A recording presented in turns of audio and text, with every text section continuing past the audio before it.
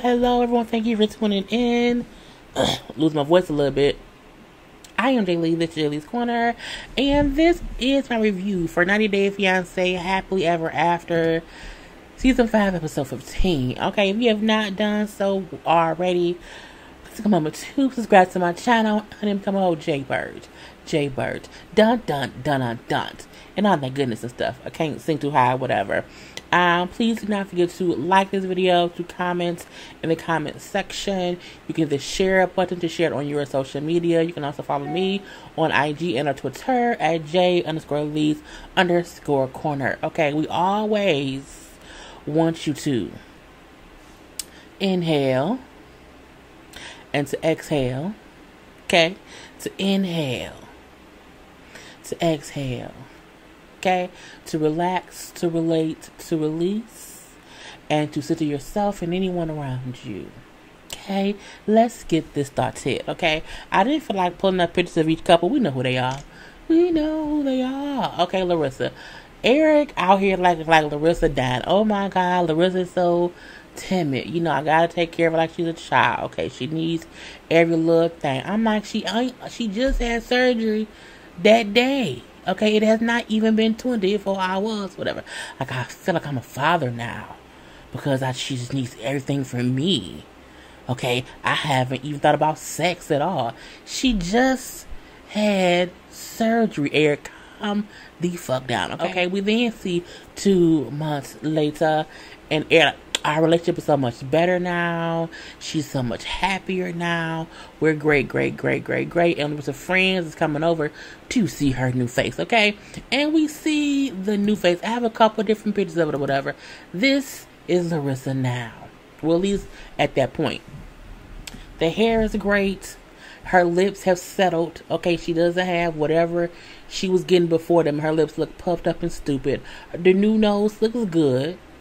It does. But to me, she looks like a typical person who goes and gets work done. Um, but she still looks good. At least she did not have bad surgery. I still feel like them boobs are too big for her body, okay? But that's okay because that's on her or whatnot, okay? So she also was close with the face.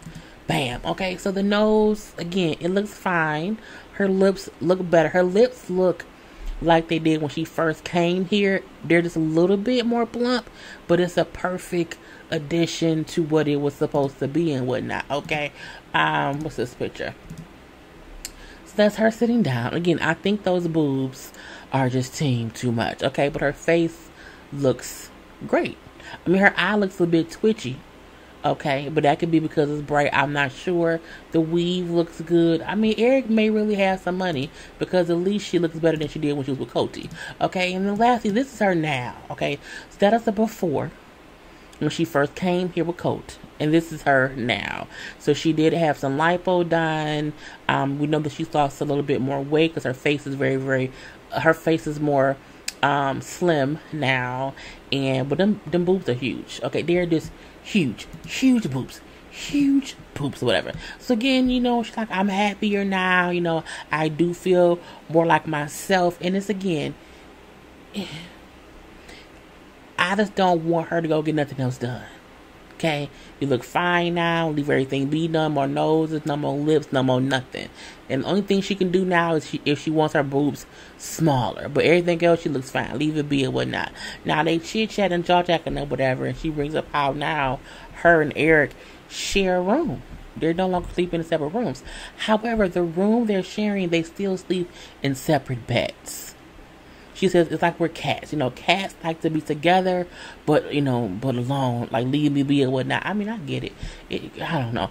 You know, that she said how her green card is still processing or whatever, and neither of them has any idea what they'll do if her green card is denied and she has to go back to. Is she from to Brazil? Why ain't she said shit about her children? Where is her kids? Girl, I cannot. I'm saying now she feel like we can get married someday. He like, um, I don't know about that. But again, we have to tell all next week. It's a three part tell all, so we'll see what else is going on with them. Okay, we then have Colt. Colt and Debbie sitting around or whatever, and Debbie feel like Colt is heartbroken you know, with him and Jess being over. You know, he's he's heartbroken. He is not the same, you know, person he used to be. You know what I'm saying? And son, you have not been, you know, acting yourself, whatever. It seemed like, you know, you're trying to keep your feelings inside. Well, mom, there are some things I just don't want to talk to you about, okay? Not right now. And I'm like, well, what's going on right here? She's like, well, look, let me be honest and frank, okay? I feel like that Jess was using you to get a green card. Okay, and that was our whole point in being with you. And I think that's the truth or whatever. Mom, you know what I'm saying? Look, I should have not started dating her this soon. I should have waited, you know, got some more time to be over over Larissa, you know what I'm saying? I keep doing the things over and over and over and messing up and that stops now. Okay, I want to do things differently, okay? ASAP and whatnot. Okay. That's fine, son, but just know I will always defend you against these women and stuff or whatever. Even if I'm old and I'm a hundred years old, I will always tell you what I think. Unless you tell me to back off, okay? Mom, you know, I just feel like the way you treat me as an adult and as a man is the reason my girlfriends and you always be beefing. They feel like your competition because you be washing my clothes, cooking my food, cleaning up after me. So they feel like, you know, you are their their challenge to be in my life. Okay, and that's why it's always a competition between you and them. Well, ain't that about it, bitch? Look, look, I don't be up here blaming me for your failed ass. Well, I'm paraphrasing on stuff. Don't be blaming me for your failed ass relationship. But she was upset that she felt like he was saying the reasons I have issues with my girlfriends because you treat me like we're dating. Okay, and so she didn't. I, you're my son. Okay, I treat you like a man Okay, I, what do you what do you mean? I'm saying I'm not the reason. I'm not to blame for this shit. And then you know I won't cook, I won't clean, I won't do laundry ever again. Okay, He's like mom, look, I think I need to get to know you. Okay, I know you. I, I just I don't know you the way. She's like, no, get to know yourself first. Okay, then think about getting to know me. I feel like how can you live with someone your whole damn life and you not know them? You know your mama. You just don't want to accept who she is, okay? But I digress. Anyway, feel like I'm happy we had this conversation because now at least it's out in the open that she knows I want to be able to date women without having them feel like she is their competition. We'll move out, okay? They won't see your mama make your bed or cook your food or do your laundry if y'all not in the same goddamn house, okay? Period get look, move to an apartment complex or to a condo. Y'all can live next door to one another if you want her to close to you, but get out the same house together, okay? Because I'm like this weird ass mother son relationship. It's just getting weird and creepy. Next up, we have Angela and Michael, okay? anyway, you know, she is. Well, oh, I forgot. It's not about them. So she found out her mom was unresponsive, was you know rushed to the hospital. Her mom was now in ICU, and she was able to book a flight. Um, but she's waiting to go to the airport, and she feels like maybe it's my fault, you know, because can't nobody take care of her how I take care of her. So maybe it's my fault because I left. We know it's not your fault. Her mama was already pretty sickly before she left, so it's not as if she was in good health and and then just you know went down here. And she was already, you know what I'm saying, little bit, little bit, little bit, little bit. So, you know what I'm saying, was what it was or whatnot. So, my like, you know, it just hurts me to see, you know, my wife leaving because I don't know when it will be the next time I'll see her in person. You know what I'm saying? So, I'm just oh so sad. They hug and kiss and hug and kiss in, in, in the airport, and then she goes home. Now, she gets home and she goes, you know, to the hospital. Her mom is not responsive, okay, but she's alive and she's just happy to be able to at least see her mom and talk to her mom and you know and be there for her mom or whatever. We then see, you know, like ten days later her mom passed away. Look, losing a parent is absolutely heartbreaking. Like I don't wish that pain on anyone. You know what I'm saying? Y'all know I still have my days when I'm just, you know, crying about my father passed away, and that was five years ago. Almost, yeah, five years ago. Because it'll be six years in February. But, not but. So I I understand how hard this is for her, and may her mom rest in peace. However, Angela has acted a complete ass ever since we've known her on the show, so it's hard for me to really connect and feel sympathy for her. I just have an understanding of what she is going through. And that's really it. It's like it's like when Trump brother passed away. And no one really felt bad for Trump. We felt bad for everyone except Trump. You know I'm saying? We felt bad for everybody else because we don't like that man. And I'm like, I felt like I was sad. I was, I felt sadness for everybody but Angela. You know what I'm saying? Even though, again, I understand that, but I feel like people who are horrible people, I can't waste my sympathy on them when on any other given day they are a horrible person. You know what I'm saying? Like they're a mean person. Like Angela is a mean spirited person, an individual, and has this, you know, white privilege in her mindset that I don't have any sympathy for. So again, you know, may her mom rest in peace. You know, the grandkids, you know, condoling. I just, girl, I just can't. I, I, I cannot or whatever. You know what I'm saying? And we do see her FaceTime Michael or whatever, and, you know, asking, like, when will you be able to come to America? Like, well, you know, the lawyer said it'll be about nine to ten months. And, you know, well, I just feel like, you know, your place is here with me or whatever. She's still on the. I'm a I'm a American person in America. I have the right to have my husband here. You should have married somebody in America and that's it. Liz and Andre. Um, so Charlie still drunk. Don't ask my father for shit. Okay, do something, Andre. Do something, okay? On all the he drunk or whatever. He was drunk and now he dancing around. Na na na na na na all around or whatever, as if he did not give a whole cuss out speech to the groom.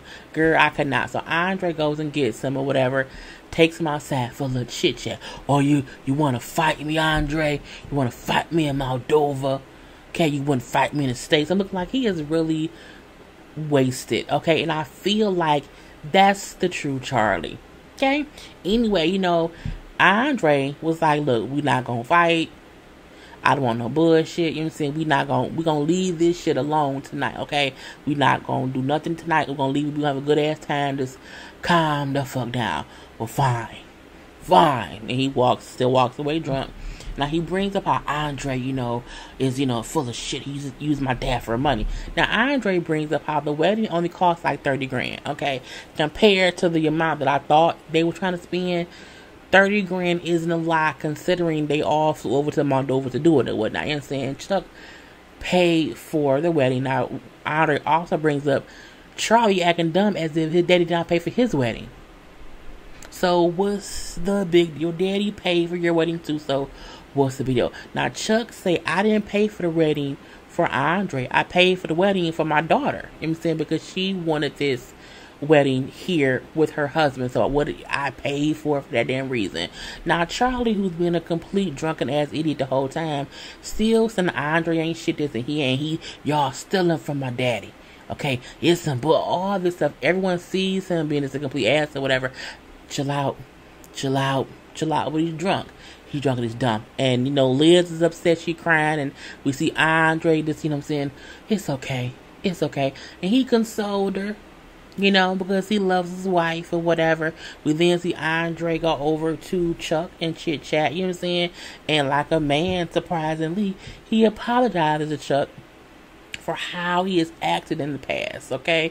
You know, and Chuck, like, look, I just want you to know that I want to feel appreciated for all the things that I have done for the family. Like I do a lot, and you just never seem appreciative for the amount of things that I do. Okay, for you, your wife, and, and whoever else and whatnot. And Andre admits, I've been wrong. You know, I've been rude. You know, you've done a lot for the family, and I know that you care for me, my wife, and my daughter. And I want to start to be better and do better and have us have a better dynamic. I do really want that. Okay, so I wholeheartedly apologize. It's the one time I think I've ever felt like Andre was being completely honest and taking, you know, account for the role and the part that he's played in the, the discourse between Liz's family and him. Now we now see the Chuck, not Chuck, the Charlie is a complete asshole fool. So you can understand why Andre might not be so receptive, receptive to him. But I digress or whatever. Chuck, however, accepts the apology. Okay, you know I'm saying? I am only one person though. You know, you I may accept it, but you have to still deal with the people who have issue with you or whatever. And so we do see on the inside or whatever as Charlie still going around and it's stupid. It's just stupid shit or whatever. And they're like, you know, don't do that. Don't ruin the wedding. Oh my god. He's somewhere drunk wherever else. And we see Andre literally is just like, you know what I'm saying? I made peace with your daddy, you know what I'm saying? I can't make peace with your siblings right now if they're gonna keep acting how they act, you know what I'm saying? But I want to have peace because I love you. She's like, oh my god, I love you. It was cute. It was cute. And maybe it's because he was with his family and he felt comfortable enough to, you know, let his guard down or whatever. I don't know. Um, and since this this is the season finale, he could be an ass on the two weeks. We're not sure, but again, congrats to them too. Okay, then we have Kalani and Asuelu. Okay, so they're on their way to see his family because his family's leaving and whatnot. And now Kalani, like Kalani, like I don't really care to see your sister. You I'm saying? I feel like we don't like each other. And we not like that's not gonna change today. So I just feel like like she probably would even want to say bye to me something, but I'm gonna go and see. I'm gonna go and see. So they get there or whatever in the hotel and they're like, okay. Hey, hey, they all hugging and whatever. And they're like, oh, where's where's Tammy? Who was the mean bitch, okay? And uh, Mama was like, oh, you know, she already left. You know what I'm saying? I tried to tell her to stay, but you know, she just, you know, he like, don't be, she said, don't be upset with your sister. Like, she loves you, she just mad or whatever. Man, fuck Tammy. Go on head on somewhere, Tammy. We don't care about you. Not today. Now, the mom was nicer. I I feel like the mom was nicer when Tammy isn't around because the other daughter, who happens to be um, hearing impaired, may just not be as as rah rah rah as Tammy is or whatever. So the mom is a little bit more nice. I'm saying she thanks them both for coming, for bringing the kids to say bye, whatever, and even tells them like take care of the kids. So I'm like, well, last time you said fuck them kids. I need some money or whatnot. But I guess again, she's changed her tune or whatever, and she tells Honey, you know, take care of Swelu because he's my son and I miss him. She's like, okay, that's good. She's like, okay, and before we go to the airport, I need some money. They was like, the fuck did she just say? After all the shit we've been through, she wants some damn money. She's like, oh, I'm just joking, huh? And she, I'm like, oh, okay, I guess it's funny. Anyway, so they then leave. You know, the parents go to the airport, and it was what it was. We then see later Kalani and Asuelu goes out to eat okay, to kind of celebrate them. You just been a couple and being in a better place. Like because we've been to therapy whatever, and we have been doing like the little family meetings and whatnot. I'm saying we are in a much better place. And then Asuelu brings up how, you know, since he found out that she wanted a divorce, he's been working hard to make their relationship work because he does not want to divorce um Kalani. And then, you know, they then do some little homework of writing down what they think the other one's role should be at home. Now, Swelu writes, like I'm saying, I, Asuelu, should do my laundry. I should wash my dishes. I should, basically saying he should do things that's, that's, that's his, but not so like I should watch the kids. I should, he was all what he should do. And when he put down stuff that Kalani should do, it was she should do all her own stuff plus watch the kids, plus watch the kid clothes. Like it was like her stuff plus the kids stuff plus like house stuff or whatever. And she's like, no, like we need to both be doing like we need to both handle the kids. We need to both do how we need to both do all these things. Like it can be 50, 50. He says, okay. We can do that, you know what I'm saying? Whatever you want to do, we can do that, it's fine or whatever. But we so they're in a good space. Okay? Good old space. And she said, I feel like we're in a good place to, you know, get into a better place or whatnot. Three months later. At this point in time, COVID didn't hit, you know what I'm saying? So they've been stuck with each other for three months in the house. And right now, the marriage is not so good, okay? So we see her talking to her mom. And you know, she brings up how you know he's always going somewhere, or whatever. I feel like he's trying to he's trying to catch COVID because he goes out, he plays volleyball, he goes out with his friends, and then he'll lie about where he was. And I'm like, do you want to get our kids sick? I said, you do realize this is the same man who told you let's go to Samoa when it was a measles outbreak and y'all had children and children can die from the measles. So I don't think he even cares about COVID because who knew? No one really knew much about a girl. By it was, I'm not surprised that he didn't adhere to keep your ass at home and don't go nowhere. He was trying to go to Samoa during the measles outbreak that were killing children. He wanted to bring your children to that. So I'm not confused at all or whatever. And she brings up how they got into a fuss or a fight last night or whatever, and because, you know, she told him how, you know, you should probably leave. You should go and stay with your mama. Okay, and she then booked him a flight, a one way flight to Seattle to go stay with his mama. And I'm looking like, mm, mm, mm. Now, she's like, I think we just need a break. You know I'm saying? Um, from each other. Like, I'm just, she's just not helpful at all, mama. You know I'm saying? And I don't think we can work. I just don't. I get her point because Asuelu is like a fucking kid. He's a child. He's a child, child, child. But I also feel like there is no male figure besides her dad who is going to actively teach him how to grow the fuck up in America. They treat him like he should know he needs to grow up. He needs someone to show him how to do it. And they're not going to be patient enough to feed that to his childlike brain. Okay, but I digress. Anyway, at this point, she's like, I don't want to be married anymore. I'm over it or whatever. I, I look, I've been the only one trying. I keep trying and trying to wait for him to change, and he just won't do it. And I'm like, I just want you to be happy and not see that you're not happy, whatever. You know, Asuelu is not the one. Your daughter got pregnant and married a stranger. Your daughter went, went on vacation got knocked up by someone who was fun for a couple days on vacation. He was never marriage material. She married him because she was pregnant. You can't be upset with that man for being exactly who he was. Anyway, we do see, you know, people like, you know, I was just going to play volleyball, you know what I'm saying? And I was being very, very careful when I went, saying, I don't want to leave my family, but Kalani is mad at me, saying, and I'm just, I can't see my, it'll be sad with me not being around my kids. And we see flags off to whatever, girl, team too much or whatnot. Okay, and then lastly, Tanya and Syngin. Girl, I don't get no fucks about these two. You know, they getting ready to leave or whatever, and he telling his family, I don't really want to go. I really want to stay here. I don't think me and her will make it or whatever. It's bullshit, bullshit, bullshit. You know what I'm saying? Talking to his mama, dad, and sister. And they're like, yeah, you know, we don't, we don't know either. We then see him and Tanya sitting around and chit chat, and it's the same conversation. I don't know if I want to go back. I think I want to stay here. I don't know if we can make it because we um, we married so fast. Like we we moved too quick. I don't know.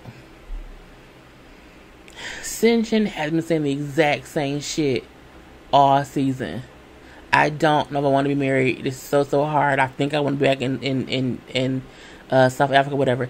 It's bullshit, bullshit, bullshit. Because they didn't decide to come back and stay together. Girl, I don't have time for these motherfuckers. I'm over it. because I feel like Tanya and Syngin are either faking for the TV show or they they both love torture.